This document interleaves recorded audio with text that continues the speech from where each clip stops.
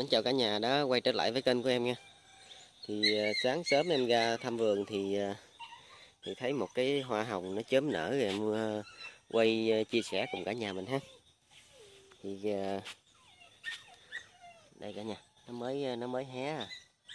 Cái hoa nó lúc mới hé hé ra rất là giống cái bông hoa hồng ha nha. tương đối là giống cái bông hồng nên nên tụi em đặt nó là cúc hoa hồng thanh tú ha thanh tú là cái tên của cái cái người à, nhân giống phát hiện ra cái cây này ha. Nè, nó mới mới nở ra nó chớm nở ra nó hơi hơi dũm dũm rất là giống cái ờ, bông hồng bông hồng vàng đó nha. Rất là giống ha. Mà khi nó nở thẳng ra thì cái cánh nó rất là là thẳng và cái à, cái cái cánh nó rất là tròn rất là đều ha. Thì à, cũng cũng do là cái khách hàng nó đặt hàng liên tục nên từ hôm đó nay em chưa có cái cây mà nó để, nó nở, nó phun cây cho cả nhà mình xem ha. Thì à, đợt này à, nay nó cũng um tùm rồi. Năm nay em sẽ phun hết cây cho cả nhà mình xem cái mức độ nó nở đẹp cỡ nào ha cả nhà.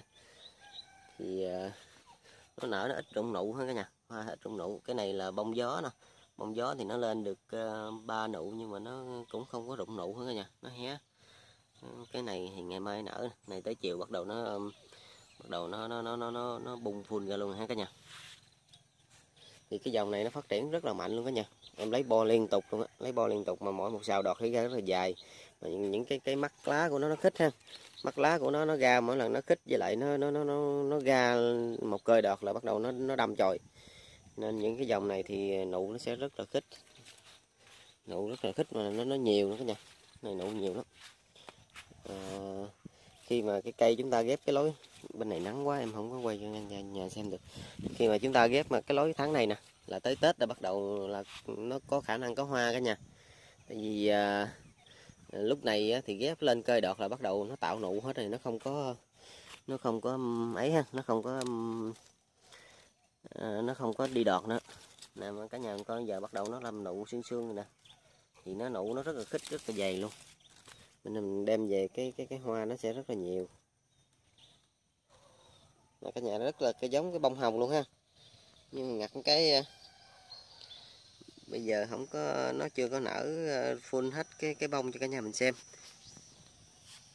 Bây giờ ờ, cũng do cái cái cái mặt bông này nó nó, nó rất là đẹp nên nên thị trường cũng rất là chuộng ha.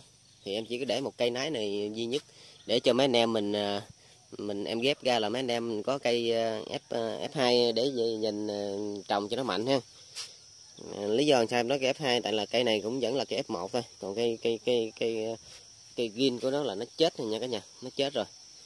Thì ờ, cái cây này là em sở hữu cây F1 thôi. Cây nái nó chết.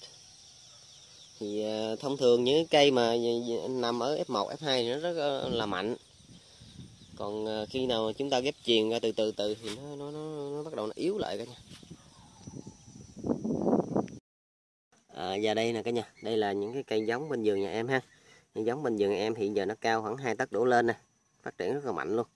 Thì à, những cái cây này thì được em ghép được ờ, tầm khoảng à, 6 tháng. Thì, khoảng 4 tháng thôi, 4 tháng thôi. Nó đi hai cơi nè.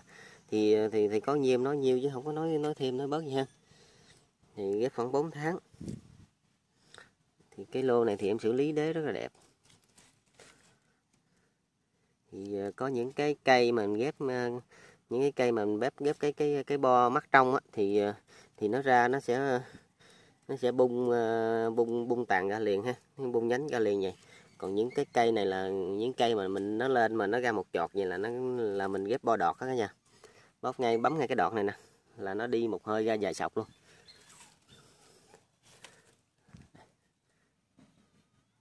Thì tàn túa rất là ok ha thì những cây như thế này nè cả nhà những cây lùng lùng mà những cây lùng lùng mà bung tàn như, như thế này nè bảo đảm cả nhà mình là tết nó có hoa luôn. Tại năm rồi em có một số cây nó tết nó ra hoa rất là là phê luôn. Những cây lùng lùng này nè tết này là ra hoa đẹp lắm. Này mình vô cái chậu ờ, chậu mini nó chơi rất là dễ thương tại cái gốc nó đẹp mà cái cái nó lùng lùng á còn mấy anh chị em nào mà lấy ờ, mà cần lấy bo thì mình nên lấy những cây cao cây cao như thế này ha. Đấy. thì ờ, những cây giống như thế này thì bên em giao lưu cả nhà mình là giá là 150.000 đồng một cây ha. Thì từ hai cây em ship và bao phí ship cho cả nhà mình ha. Còn một cây thì bên em không có ship.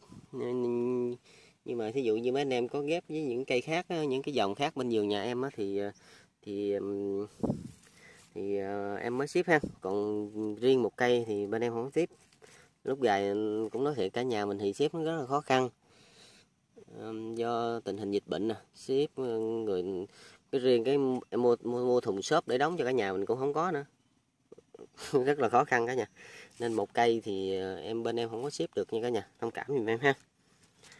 Rồi thì em cũng nhắc lại cả nhà mình thì cái dòng này thì em giao lưu cả nhà mình 150.000 đồng một cây em bao phí ship từ hai cây ha và hai cây mới ship hoặc là ghép đơn. Cả nhà mình có lấy những cái giống khác thì, thì ghép đơn vô cũng được ha. Rồi em à, chào tạm biệt cả nhà. Chúc cả nhà mình một buổi sáng thật là nhiều niềm vui và thật là nhiều sức khỏe ha.